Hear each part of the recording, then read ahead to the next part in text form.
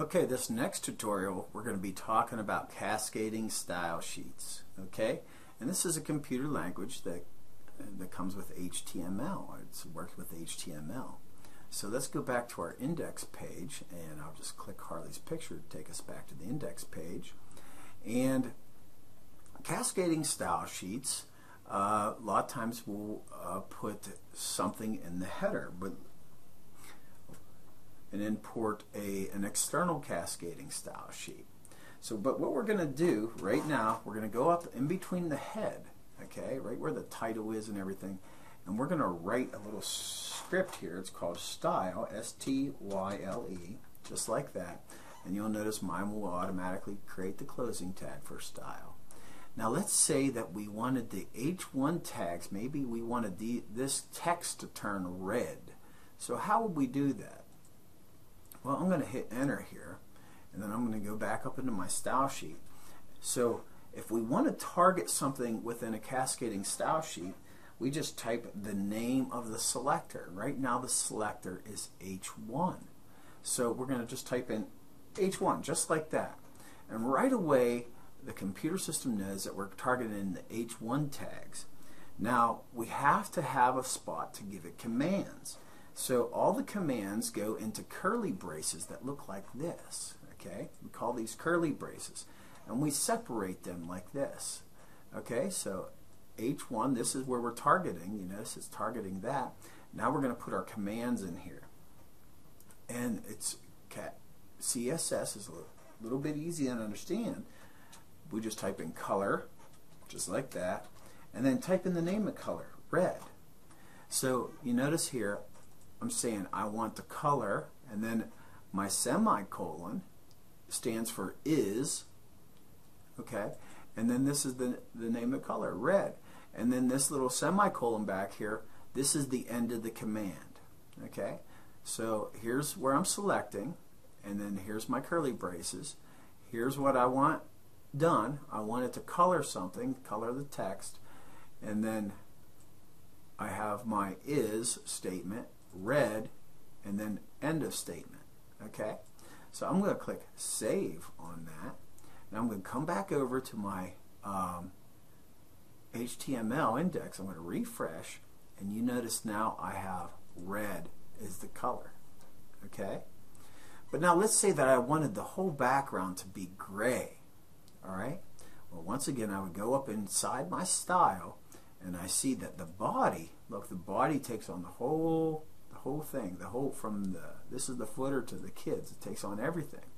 So what I'm going to do is I'm going to hit enter two times to give me some separation. I'm going to type in body just like this, put my curly braces in, and then hit enter to give me give myself some separation. Okay, and then what I'm going to do. Hold on a second here. Let me get back up where I was. I'm going to hit enter right here, and I'm going to type background color, just like that. And then I'm going to put G-R-E-Y for gray in my uh, end of statement. So now I'm telling it I want the background color to be or is gray and then end that statement. Okay? Now I'm going to click Save, just like that. I'm going to come over here and refresh, and now I have a background that color that's gray. Okay, so now we're targeting the H1s, okay, uh, with this red color, and we're targeting the body, okay, the body, everything in the body, that's everything is gray.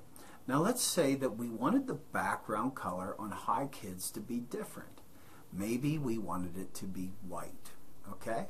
So let's just go up to the H1, hit enter. We can give it more than one command.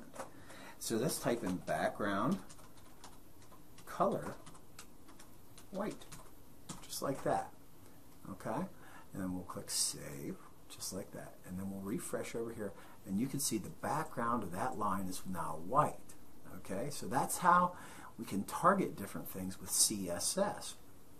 Now you can just imagine if we put every command that we wanted, uh, this index.html will go way, way, way, way down. Okay, and but so what developers have figured out is if they can bring this in, in with a link in the head file. So what they'll do is they'll take all this information right here, okay, and we'll right click and we'll cut it out of there, all right?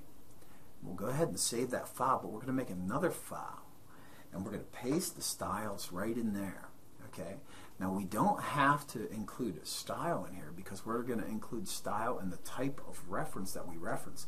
But let, let's move all of these over so that they're touching the wall on the left there okay? And we're going to go File, Save As, and uh, we, we need to navigate to our uh, WebKids folder. Let's go to WebKids, and so now we want to make another folder. And we're just going to call this new folder, we're going to call it CSS, for Cascading Style Sheets, just like that. And we're going to open that folder, and we're going to call this Style, S-T-Y-L-E. And under the save as type, we want to look for cascading style sheets. Okay, so let's, let's see if they have cascading style sheets. And there it is. See the .css? That's what we want the file format to be. So we click save like that. And you notice now the, the colors are changing and stuff like that.